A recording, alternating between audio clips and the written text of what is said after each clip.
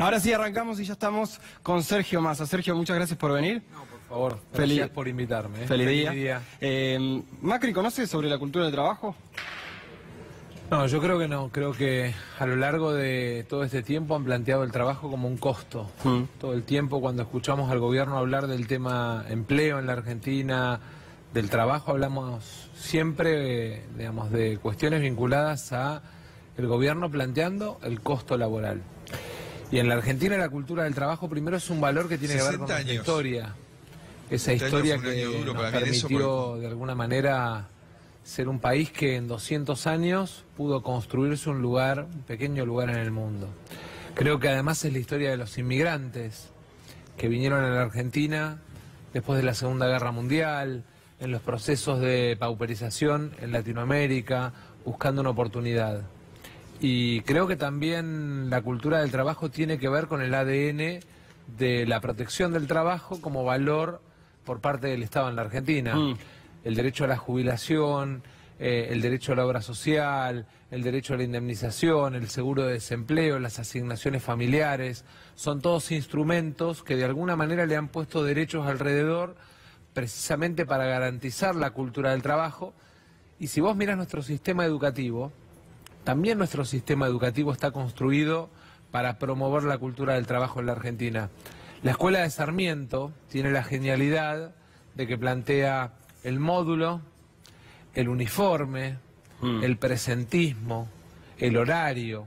¿Por qué el colegio empieza a la hora que empieza? Mm. En realidad porque es la hora a la que empieza el turno laboral en la fábrica.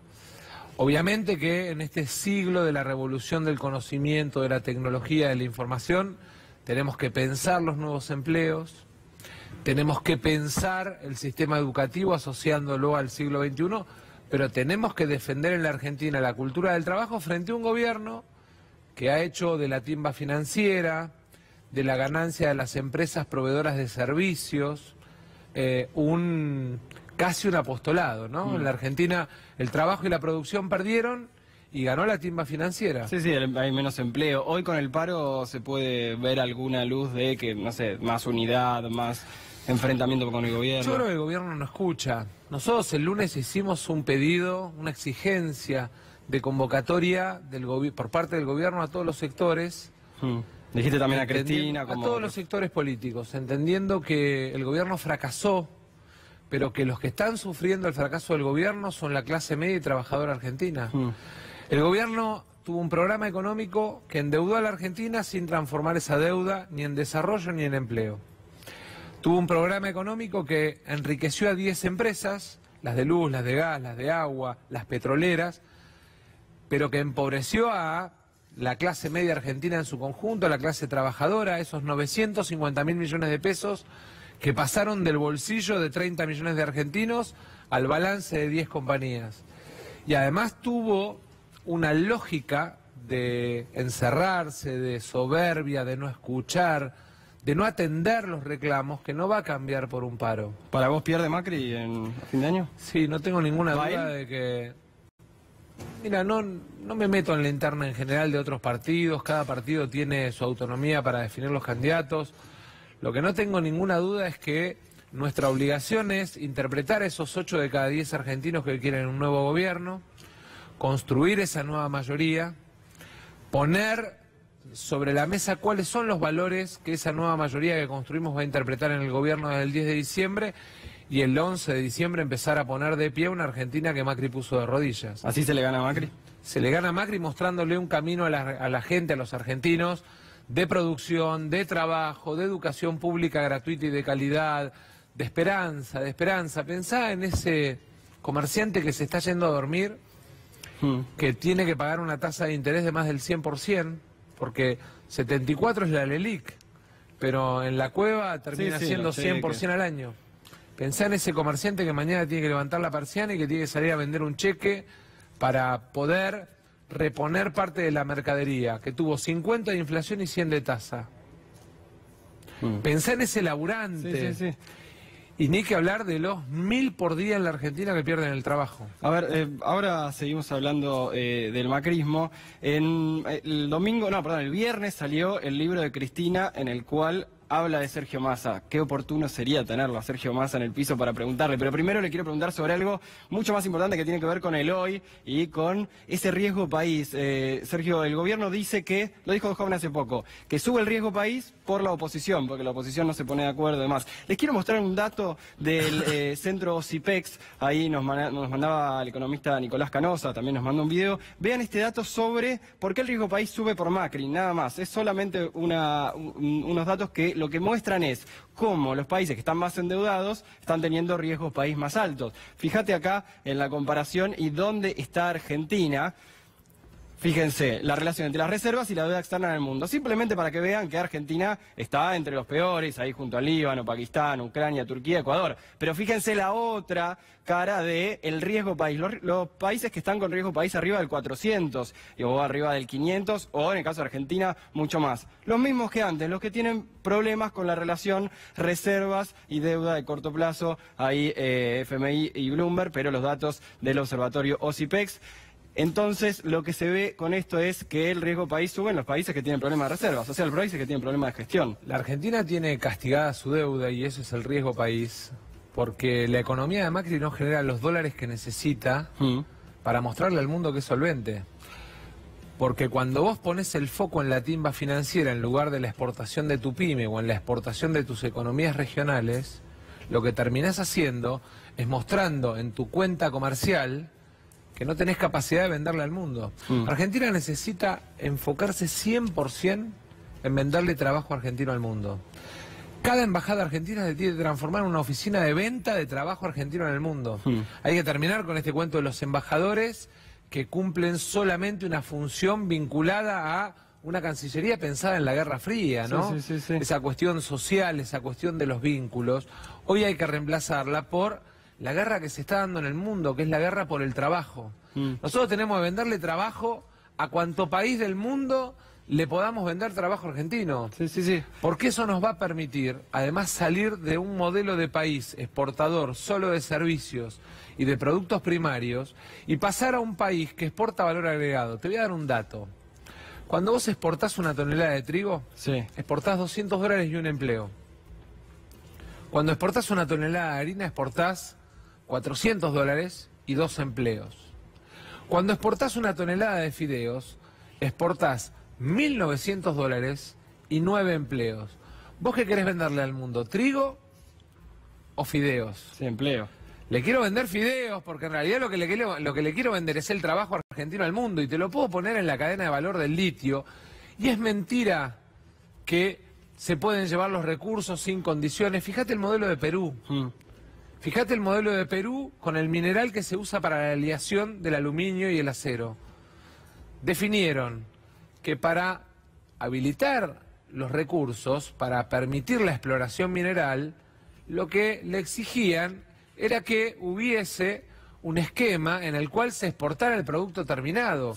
porque se le dio trabajo a los peruanos. Y en ese sentido, Sergio, eh, Rodo anda preparándome la frase del libro de Cristina sobre masa, em, pero eh, vos siempre en las últimas campañas hablaste del contexto internacional. Ahora está Estados Unidos y China muy fuerte. ¿Ahí en qué lugar ocupa Argentina? Argentina tiene que tener multilateralidad. Hmm. Primero tiene que mirar a Brasil, porque es nuestro principal socio, es el complementario. Está complicado ahí.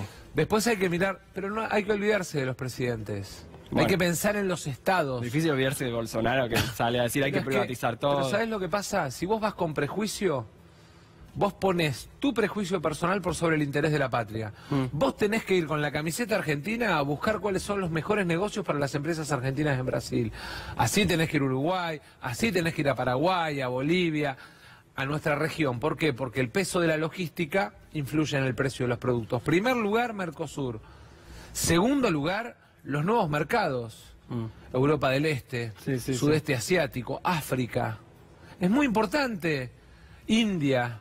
Porque además son mercados donde vos tenés capacidad por sinergia de la economía de entrar rápido. Ahí tiene que entrar Argentina agresivamente.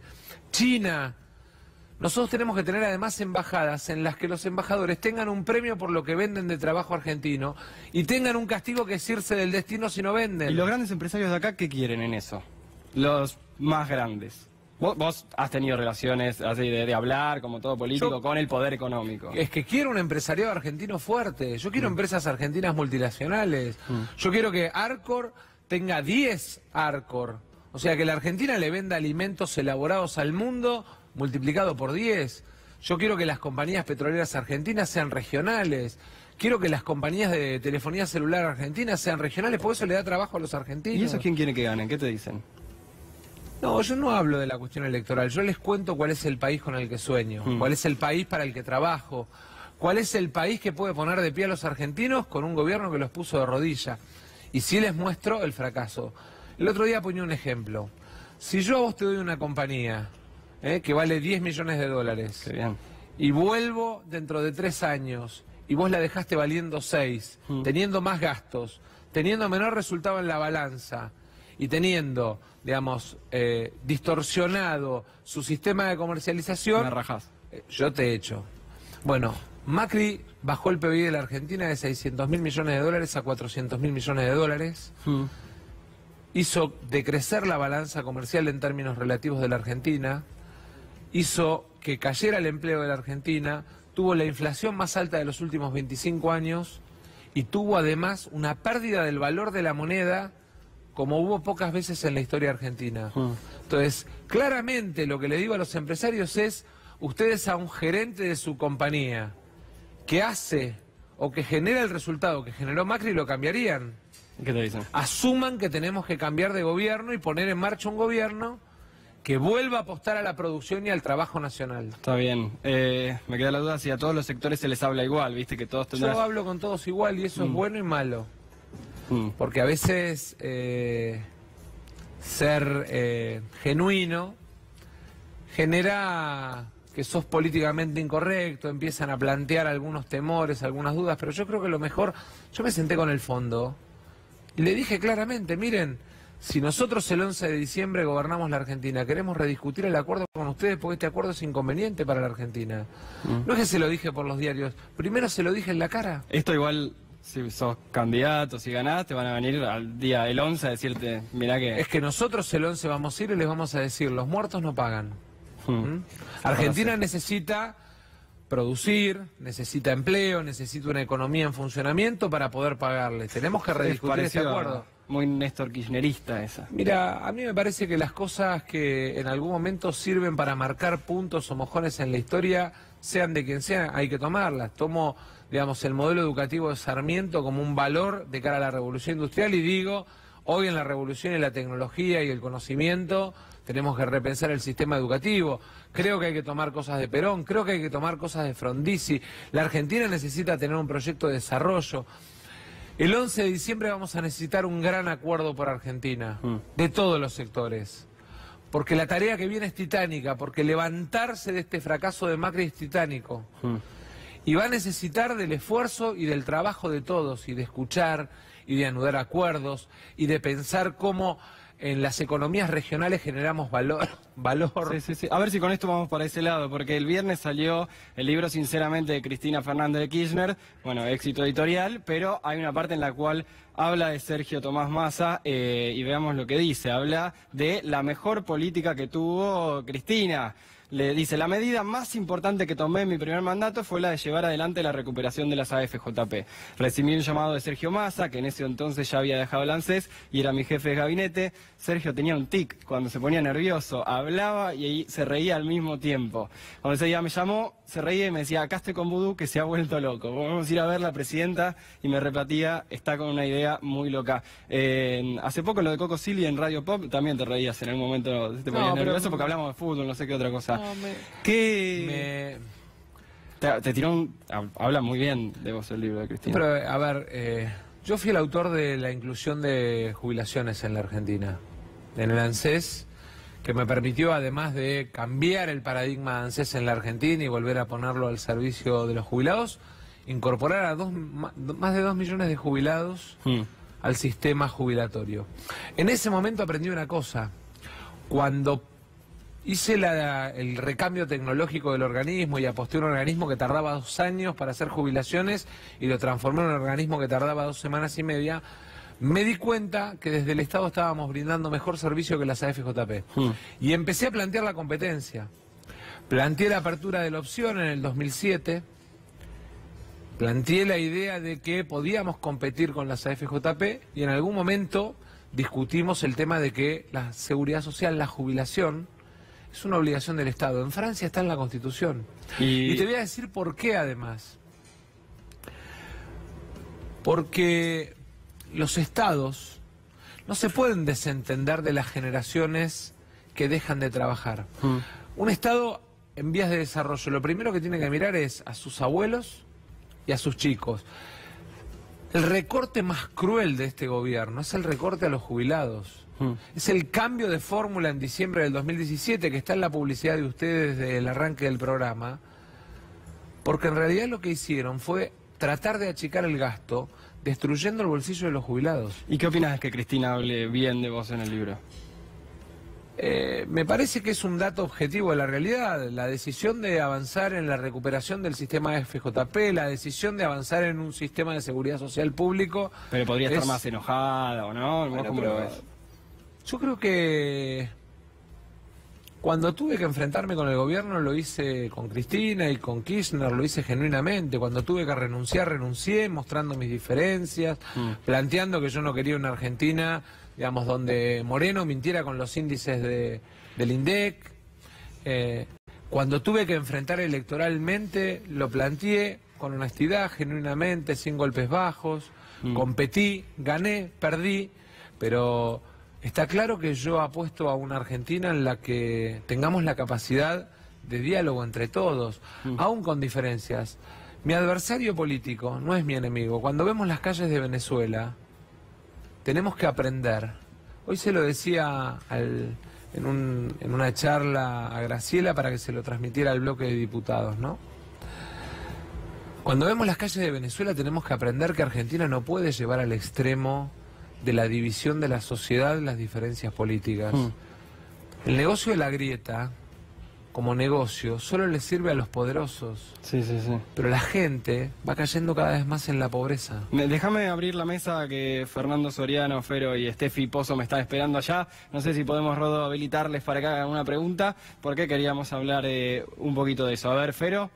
Hola Sergio, buenas noches. Feliz día, aparte. Eh, recién dijiste que volver a, a un gobierno que apueste al trabajo. Eh, ¿Cómo se le gana a Cambiemos? Eh, que se jacta de no perder elecciones importantes. Se le gana, bueno, vos me vas a responder, pero se le gana con unidad, se le gana con un camino alternativo. ¿Cómo haces para ganarle la elección?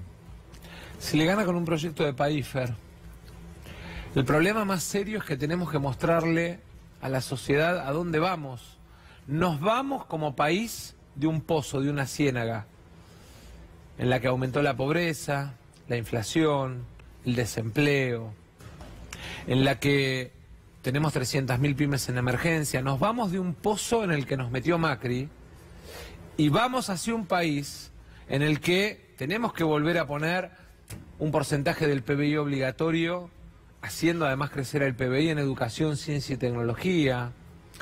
Nos vamos si nos animamos a plantear que los nuevos empleos ocupan un lugar en la agenda pública y tenemos que sentarnos honestamente con nuestros dirigentes sindicales a charlar de cómo vamos a proteger a esos nuevos trabajos, a los globos de este mundo. Eh, salimos del pozo si nos animamos a mostrarle a la sociedad argentina que el trabajo ocupa un lugar y que entonces, por ejemplo, promovemos el empleo joven con una ley que duerme hace dos años en el Congreso. Y los intendentes con esa palabra, ganar, ganarle al gobierno, ¿qué, qué te parece a hacer? Pero es que para mí ganar por ganar es un, a ver, es un error. No es solamente ganar, Mm. es ganar y construir la Argentina que se merecen los argentinos, porque si no, vamos pasando de fracaso en fracaso. Es ganar y animarnos a construir acuerdos alrededor, por ejemplo, del Código Penal, Mm. para que 10 años de condena en la Argentina sean 10 años Pero de los cárcel. intendentes quieren ganar, digo. Bueno, está bien, pero ¿sabes lo que pasa? Si el proyecto de los intendentes es solamente permanecer en el poder sin importar qué proyecto de país tenemos, van a ser intendentes de lugares invivibles. Mm. Entonces, tiene que ser en el marco de un proyecto de país en el cual le digamos a esos argentinos que hoy se van a dormir amargados, angustiados, deprimidos, quédense tranquilos, vamos a ponerlos de pie. Mm. Eh, Steffi, ¿está habilitada para, para hacer una pregunta? ¿En qué cargo electivo la ves a Malena Galmarín y tu mujer? Malena tiene tres grandes virtudes. Primero, esa cosa comprometida de cercanía con el problema de la gente. Es una es una mujer muy que le duele el dolor del otro y eso obviamente la describe como persona y la describe como dirigente. Segundo, tiene una agenda de política de género hace muchos años. Muy activa, sí. Muy activa y hace muchos años. En el año 2008 me vino con la idea, yo era intendente, me dijo hay que armar una fiscalía especializada de violencia de género y violencia familiar. Año 2008, esa agenda no estaba en la Argentina. Y hay que armar un hogar donde podamos refugiar a las mujeres víctimas de violencia de género cuando se van de la casa. Hay que armar un programa para que las mujeres que salen de la casa tengan la posibilidad de construir su sustento. Entonces, primero fue la fiscalía, después hicimos el hogar, ¿Te tuvo después hizo un programa, me convenció, no, no, me convenció. Malena cuando se propone, le habla a un ladrillo y lo convence de algo. Es, ¿Tenés eh, una relación con ella como poner- planteaban Néstor y Cristina, así de discutir todo, debatir todo? No sé cómo era la relación en la No, lo que intimidad. Yo cuentan, tengo- no, digo, no- yo no- tengo, yo tengo una, digamos, tengo además una cuestión, tengo un profundo amor, digamos, somos una pareja, como todas nos peleamos, eh, podemos discutir, pero la verdad es que somos compañeros de vida hace mucho tiempo. Y además es una muy, es muy mamasa, es muy, muy madraza. Todo- hasta, Entonces- ahora, hasta ahora no me dijiste cargo electivo. Entonces, por eso, yo no sé qué va a privilegiar en ella, o sea, qué va a primar en ella. Si la mamá, que, digamos, está criando chicos adolescentes conmigo, que soy un papá a veces ausente, si va a primar en ella la idea de que los chicos ya crecieron, como le digo yo, los chicos ya son grandes eh, y, Pero no y son- tienen que volar. No son excluyentes, ¿o sí? Es que sí son excluyentes porque cuando vos te involucrás en algo, cuando Malena estaba al frente del área social y de salud en Tigre, eran las 3 de la mañana, había sudestada, y yo por ahí estaba durmiendo en la cama, Mm. y Malena estaba con el teléfono sentada, hablando con uno, hablando con otro, mirando cámaras por el teléfono para ver cómo estaba el agua en Ricardo Rojas o cómo estaba, digamos, conformado el comando en el puente de, de Sacrista, en el puente del centro de Tigre. O sea, es muy comprometida. Entonces, la decisión la tiene que tomar ella, porque es una decisión que tiene que ver con también ella animarse a volar y a ser quien es genuinamente. Sergio, te quiero preguntar sobre lo que pasó estos días con Lilita Carrió, pero primero veamos eh, su momento con Mario Negri en Córdoba. son lo que pasa en Río Cuarto y hay responsables políticos de lo que sucede en Río Cuarto. Y no voy a decir más nada porque me codeó. Pero es la verdad. Es escandaloso lo que pasa en Río Cuarto y hay responsables políticos de lo que sucede en Río Cuarto. Y no voy a decir más nada porque me codeó. Pero es la verdad. ¿Qué opinas de los exabrutos de Lilita? Es Yo creo que no, lo, lo reconoció ella. Mira, ¿Cómo va? Ah, ah, ¿Cómo anda? ¿La seguiste a Lilita? ¿Eh? ¿La seguiste a Lilita o quién se seguiste? No, en la semana pasada también Lilita tuvo un exabruto, hoy le pegó un codazo Mario Negri para que se calle. La semana pasada tuvo uno muy fuerte que le agradeció a Dios por la muerte del ex gobernador eh, de la Sota y estuvimos en el Congreso para ver, para ver quién de Cambiemos se hace cargo de las declaraciones de Lilita y este era el resultado. A ver.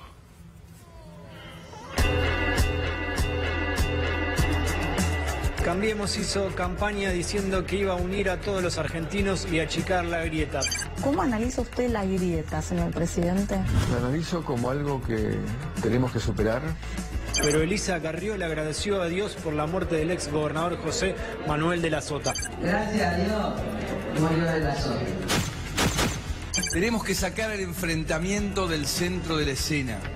Vinimos al Congreso de la Nación para ver qué piensan los diputados de la oposición, pero principalmente los del oficialismo. Diputado, le quería consultar por las declaraciones de Elisa Carrió. ¿Ayudan a achicar la grieta? Dame un segundito. Sí, obvio.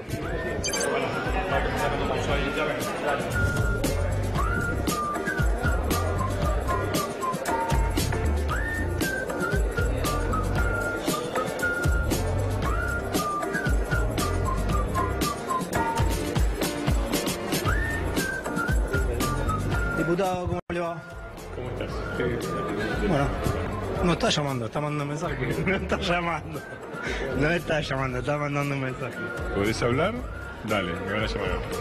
Yo estaba, la mismo siempre habló de achicar la grieta, de la unidad. ¿Cómo tomó las declaraciones de Lita Carrió? No ayudó mucho, ¿no? Hola. ¿Qué tal, embajador? ¿Cómo está? Bien? Será el de Estados Unidos, nada más.